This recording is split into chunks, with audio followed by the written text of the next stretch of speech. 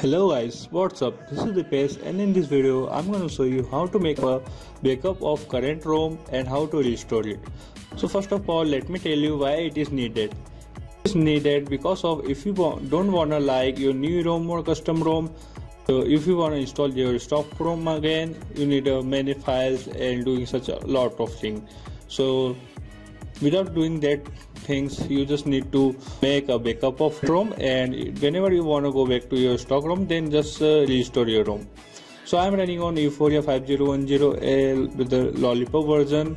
So you can do this trick with all the mobile devices whatever you are using.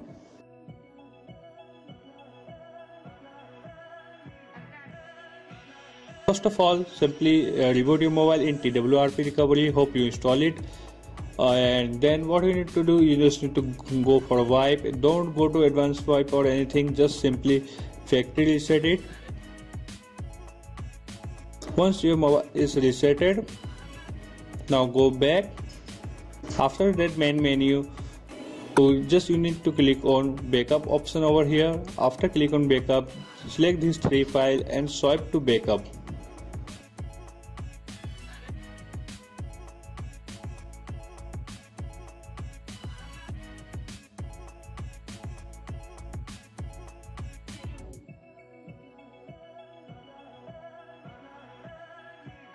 Once backup is completed, you just need to click on reboot option over here, then click on reboot op system and then your mobile will be boot up automatically.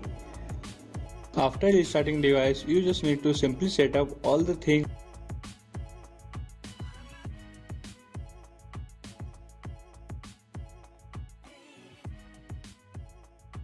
and after that you just need to go for your file manager and choose a storage where you make a backup for your ROM after that you just need to copy this twrp folder. Here you will get a backup of your current ROM now if you lost a backup of your current ROM in case of Yuphoria devices you can download that backup folder from the link in the description. But in other devices you can download your stock ROM or you can also make a backup of your ROM with the help of this video.